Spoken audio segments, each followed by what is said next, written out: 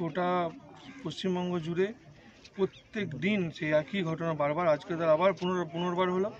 আমাদের বিজেপির সক্রিয় কর্মী এই একশো ছিয়াত্তর নম্বর বুথ গোঘাট ছচল্লিশ নম্বর জেপি গণেশ রায়। তার একটাই দোষ ছিল অন্যায় ছিল সে মোদিজিকে সমর্থন করতো সাপোর্ট করতো। সে পুরো বিজেপিকে ভালোবাসতো। তার জন্য তার ছেলেকে আগে ধমকি দেওয়া হয়েছে হুমকি দেওয়া হয়েছে। তাতেও তারা তৃণমূলে জয়েন করেনি। আবার তার বাবাকে গতকাল রাত্রিবেলা নৃশংসভাবে আপনারা দেখছেন লাশ এখনও টাঙানো আছে, ঝুলিয়ে দেওয়া তো এই রকম করে যে পশ্চিমবঙ্গে জঙ্গলের রাজত্ব কায়েম করে চলেছে এই তৃণমূল সরকার, গতকাল একটা বাইক মিছিল করেছে। বাইক মিছিল করে এলাকার মানুষকে সন্তুষ্ট করছে, আজকে ঠিক মার্ডারটা হয়ে গেল। তো এইরকম কতদিন চলবে এইরকম কীভাবে চলবে? আমরা এই মার্ডারের এর আগেও আপনারা দেখেছেন খানাকুলে পনেরোই আগস্ট মেরে টাঙিয়ে দেওয়া হয়েছে। তো এর এর কিনারা কে করবে? এর কিনারা কে করবে? এর উত্তর দিতে হবে এই সরকারকে।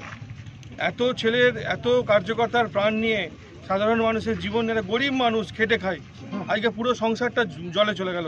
ওর ছেলে আমার পাশে দাঁড়িয়ে আছে। আজকে এই ছেলের পিতৃ হারা হলো। এর দায়টা কে নেবে? এর দায়টা কে নেবে?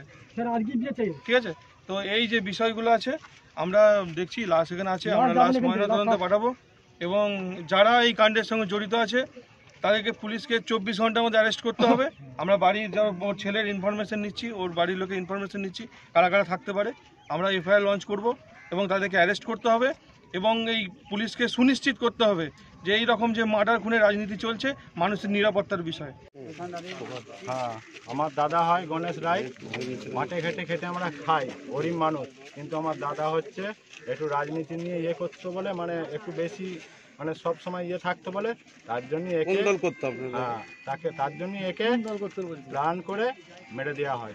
যেটা কারা- কারা পরিষ্কার বোঝাচ্ছে এটা তদন্ত বলবে পুলিশ প্রশাসন হ্যাঁ যারা আর এখন আছে তারা বলবে মানে রাজনীতি যারা আছে এটাকে তো আমি চাইছি যেন তদন্ত করে এরা দোষী যে অবশ্যই যেন তাকে সাজা দেওয়া হয় যেন এবার হিংসা আছে আমাকেও লোকসভার ভোটের আগে মেরেছে হুমকানি দিয়েছে হুমকি কিন্তু আমাকে মেরেছে। হুমকানি দিয়েছে। ওকে মেরে ফেলব ভোটে ভোটের পর বলছে দেখে ছাড়বো আবার জেলে পুরাবো। আমাকে মেরে আর করে আমার নামে আবার দেওয়া হয়েছে, জেলে পুরাবো।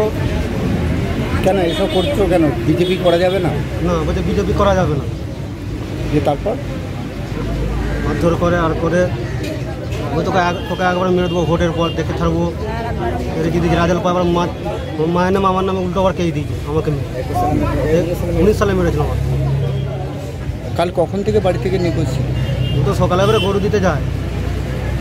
গরু দিয়ে এবারে সাতটা সাড়ে ছটার সময় আমাদের পাড়ার লোকেরা দেখেছে মিল করাতে মিল করা দেখেছে বলছে সে ওইখানে যাচ্ছে হেঁটে সে তারপর থেকে আর ঘরকে আসে।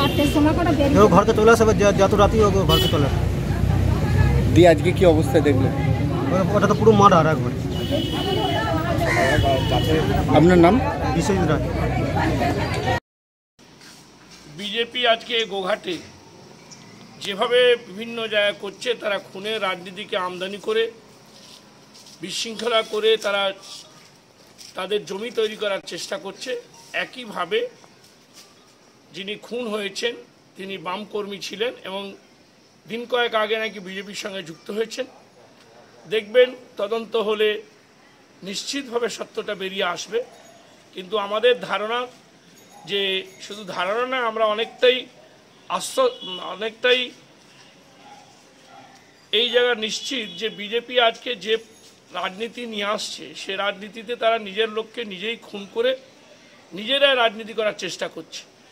আমি শুধু বলব যে এভাবে বাংলায় রাজনীতিতে খুন করে রাজনীতিতে নিজের জায়গা তৈরি করার যে তাদের যে পরিকল্পনা, এটা নিশ্চিতভাবে মানুষ এই পরিকল্পনাকে ব্যর্থ করবেন